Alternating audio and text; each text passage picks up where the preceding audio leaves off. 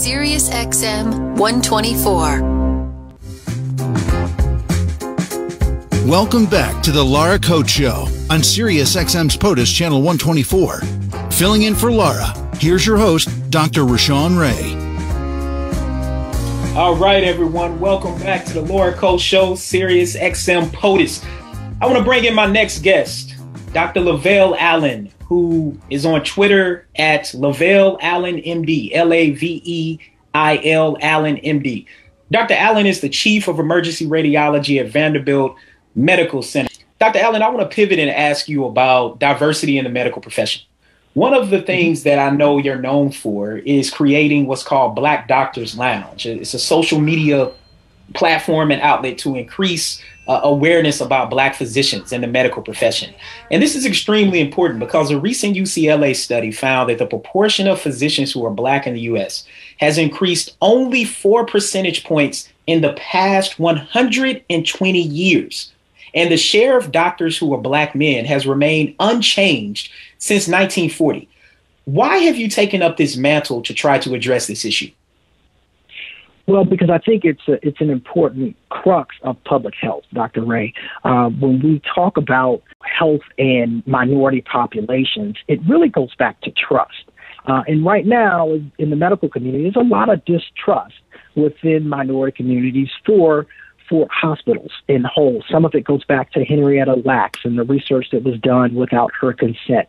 Uh, it may go back to the Tuskegee experiment. It may be related to J. Marion Sims, who uh, was doing research on women. He's known as the father of OBGYN, uh, but he actually did a lot of that research that gained him that notoriety and moniker on enslaved women without anesthesia. So, rightfully so, there is some distrust within the community. But what studies have found time and time again is that trust a lot of time goes hand in hand with seeing someone in that physician office that looks like you, that resembles you. Uh, black men have been proven to be more adherent preventative screenings related to cholesterol screenings, blood pressure screenings, diabetes mellitus screenings, if there is a black doctor that's taking care of them. Uh, it's been shown time and time again. And even more aligned with what we're speaking on now as it relates to invasive uh, preventative medicine, such as a flu shot and or a COVID-19 vaccination. Individuals of color are more apt to be adherent to those measures so for me, as a black physician, as a black male, uh, one of 2.5% of black male physicians in America, um, and as you mentioned, it, it's it's pretty wild to think, Dr. Ray, that in 1940 lynchings were still legal uh, and prevalent in America. Jim Crow laws were prevalent. And in 2018, we have the same percentage of black male physicians as we did when those things were occurring. And so it's something that I think is important for the community uh, at, at, large, uh, for public health uh, in America. Um, and honestly, I, I, just think that it's something that uh, all Americans should be focused on uh, improving. Mm. So I want to ask you one one last question, maybe two. Let's see see how quickly we can get through these.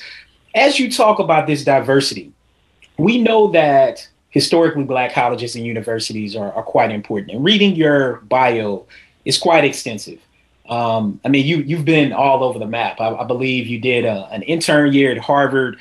Um, you did your residency at Tulane, but you did your undergrad work and your uh, your, your medical school practice at Tennessee State University and Meharry Medical Medical School, which is down the road from Vanderbilt. How important are HBCUs in diversifying the medical profession? I, I can't even place a percentage or a number or quantitative value. It's that's how important they are. Uh, if we take a look, we look back at the Flexner report that came out in 1910. It was responsible for five of the seven historically black colleges that train uh, black physicians uh, being shut down. Um, and the AMA has since apologized for that ruling in 2008. But uh, I'll say to you that uh, 86% of the black physicians that we see in America have originated from Meharry Medical College or Howard University Medical School in DC. So when you talk about how important they are, uh, they are incredibly important since we've now onboarded Morehouse Medical College in Atlanta and Drew in California.